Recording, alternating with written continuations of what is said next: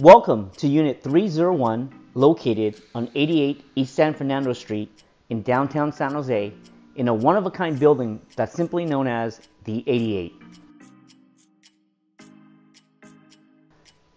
This impeccable residence with two bedrooms, two and a half bathrooms consists of 1,981 square feet of modern living space with a very open floor plan. You have two designated parking spots in the gated garage.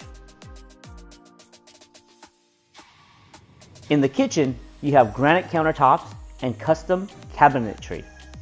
It is complete with stainless steel appliances. The beautiful hardwood floors in the kitchen flow seamlessly to your warm and inviting living room. The large floor-to-ceiling windows in the dining area, living room, and master bedroom allows for plenty of natural light to enter the home. The master bathroom has a deep soaking tub with a separate shower and dual his and her sinks.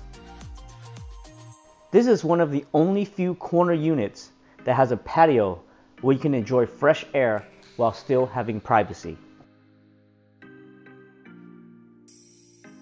The junior master bedroom also has its own shower over tub as well as two sinks.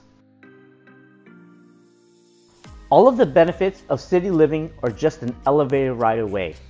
That means you can stroll to the parks or the SAP Center, shop the farmer's market, sip a delicious cup of coffee at Philz, treat yourself to a late night dinner at Original Joe's, San Pedro Square, or any of the more than 100 dining businesses nearby.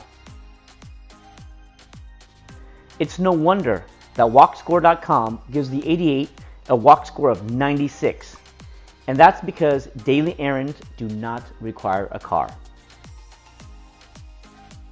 There is an abundance of amenities designed to simplify and enrich your life at the 88.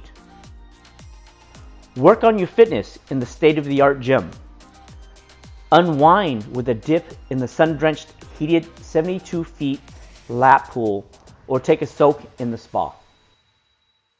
Play some billiards with your friends to pass the time. Enjoy a nightcap with friends and neighbors under a canopy of stars on the Skyline Observation Terrace on the 21st floor. As you can tell by now, this property is ideal for entertaining, relaxing with friends, or claiming bragging rights to San Jose's finest. The 88 was designed for those who appreciate the finer things in life.